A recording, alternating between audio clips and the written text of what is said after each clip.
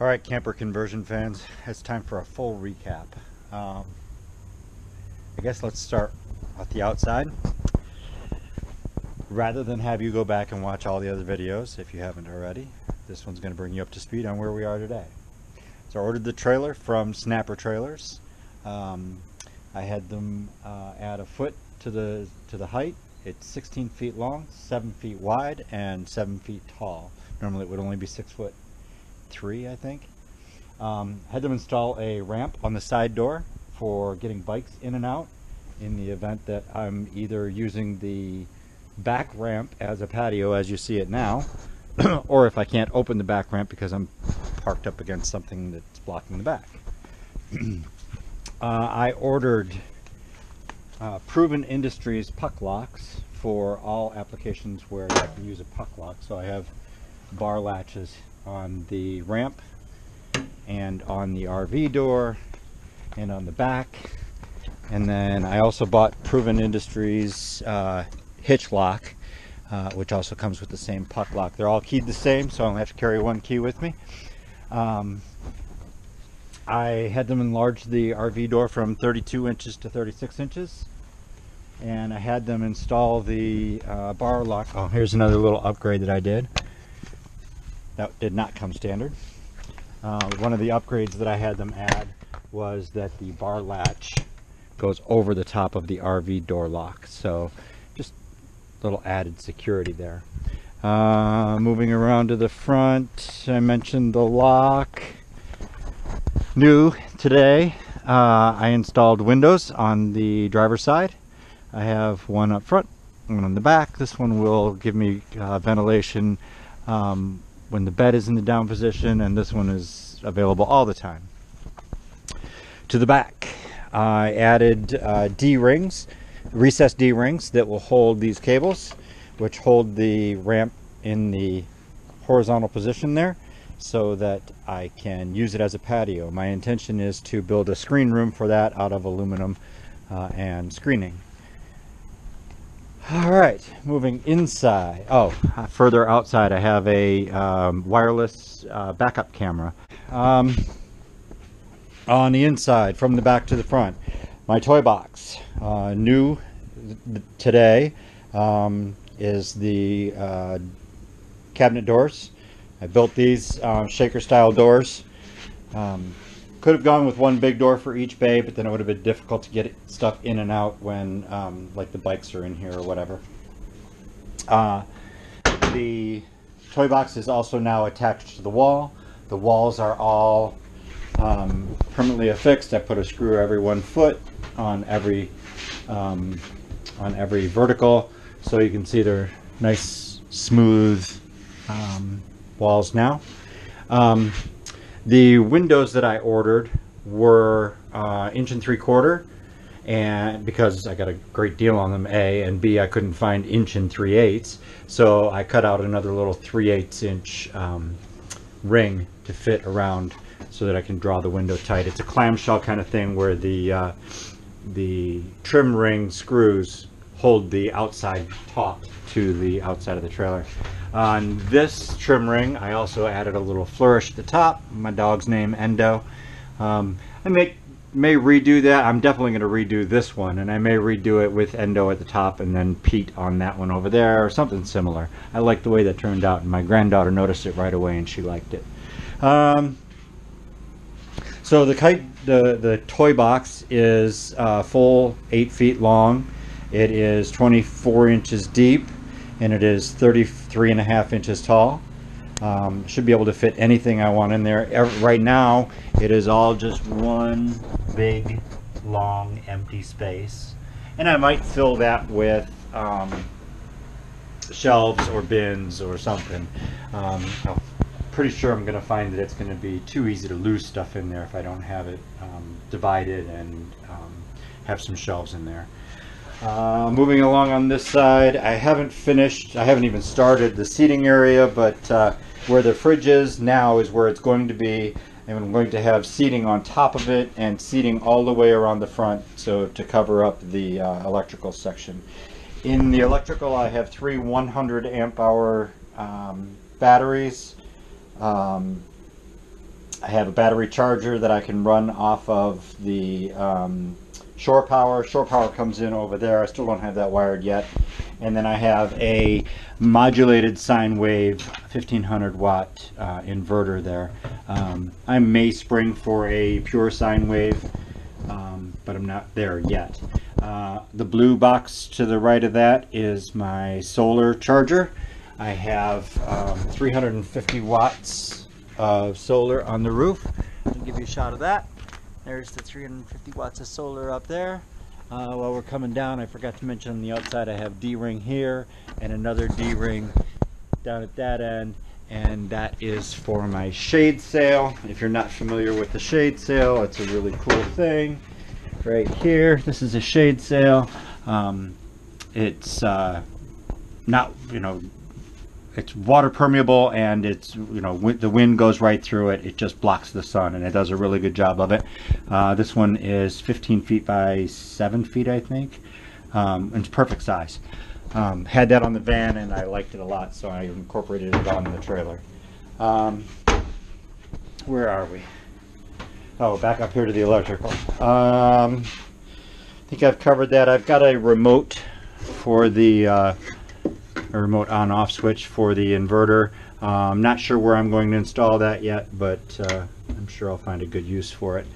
Um, moving over here, I have the kitchen area, uh, gray water tank directly under the sink. Um, behind that is my water pump. None of this is plumbed yet. Um, that's my project for tomorrow, I think. Uh, tankless water heater there. Um, little bit of storage underneath there. This um, paper towel holder will get um, put up on the wall over here.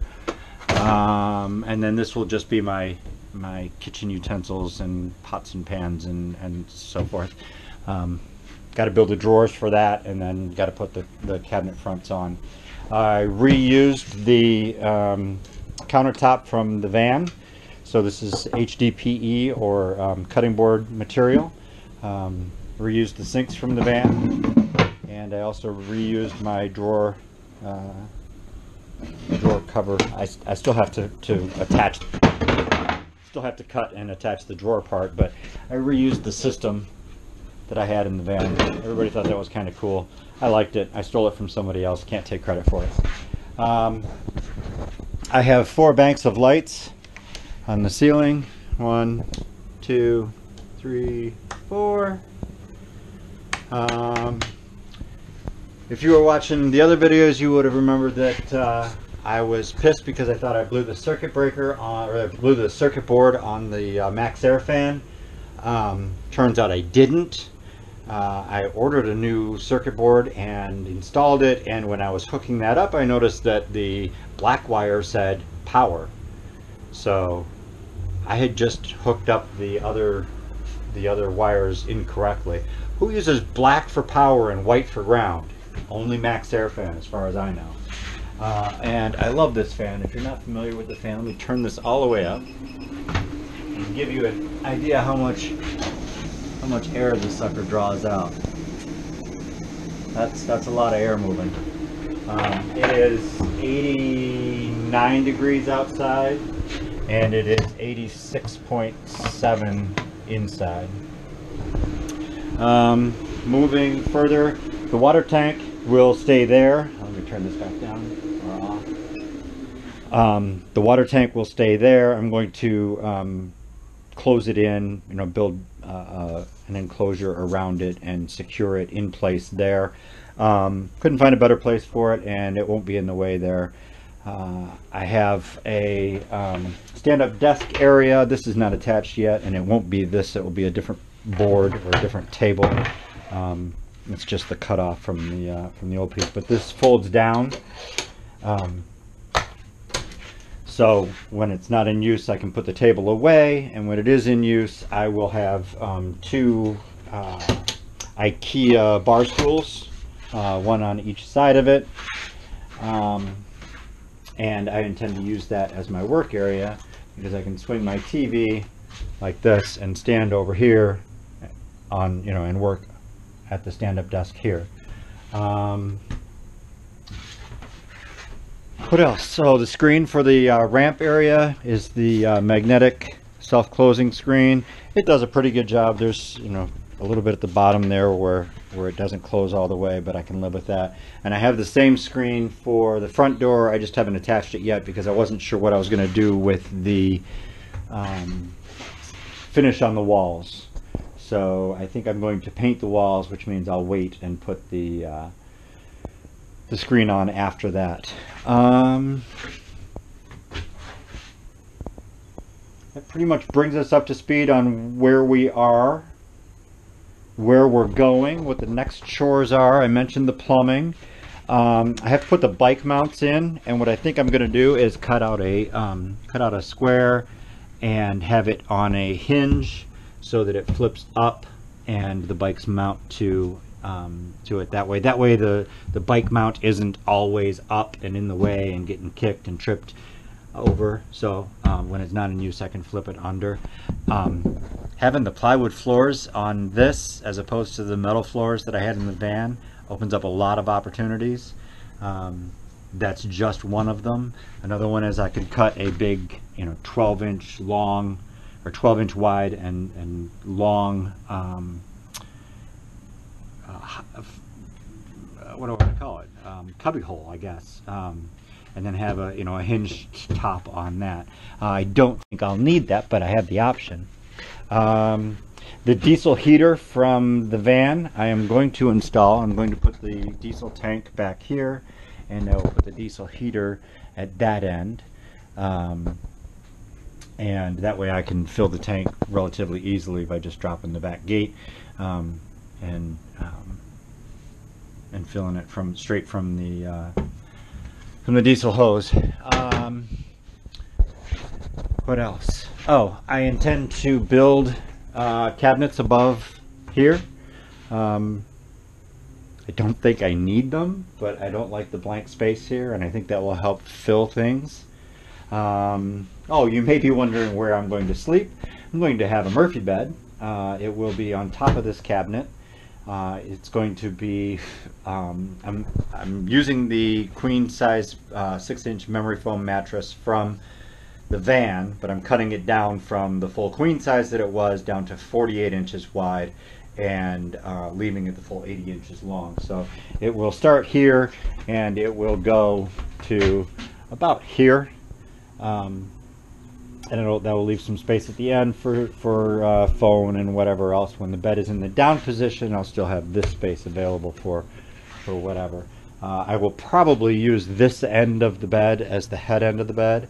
Um, that way when I'm, uh, when I'm camping uh, in the Outer Banks, uh, I can have my head right here, and then when I wake up in the morning, I'll look out the door and see the Pamlico Sound, not this mess. Um, I bought um, LED lights for the uh, sides on both sides. Um, I won't install those until I've figured out what I'm going to do with the uh, with the walls and uh, when I do install those I will do a um, basically a wire chase kind of thing it'll I'll have um, a board that comes down and another board that goes against that wall so it'll be you know completely closed in hiding the wires that are up there and hiding the LED lights um, I have some plexiglass that I intend to cut down and use for the horizontal portion of that um, L-shaped enclosure. Um, eventually, I would like to get a 30 or 45 inch uh, window put in there. Um, couldn't find one. It doesn't seem important at this point in time. Uh, eventually, I will. Um, I'll put some kind of a window over there, and it will be bigger than the uh, 14 by 16s that I have on this side. And the fact that I went with 14 by 16 um, means it'll be easy to upgrade those later. I can um, expand them not just width-wise, but height-wise too. Um, oh, couple other things. I put a D-ring here, and I have this eye hook here for the. This one's for the uh, strap for the for the patio um, cable, um, but I can string a hammock on that and uh, and chill out in my hammock if I'd like. Um, cabinet closures. So one of the, one of the cool things about um, this being a trailer and not being a, a van is that I don't really care if stuff rattles in here. So um, if these, these cabinet doors make a lot of noise while I'm driving the truck, I'll never hear it. So um, not a real concern. What is a concern though is that these might come flying open and and dispatch the contents of the cabinet onto the floor, and I wouldn't like that. So I do intend to put some kind of a latch, probably one of those uh, twist latch things that draws the, the cabinet doors closer together. Um, and I can see that I'm out of battery, so I'm going to close this off.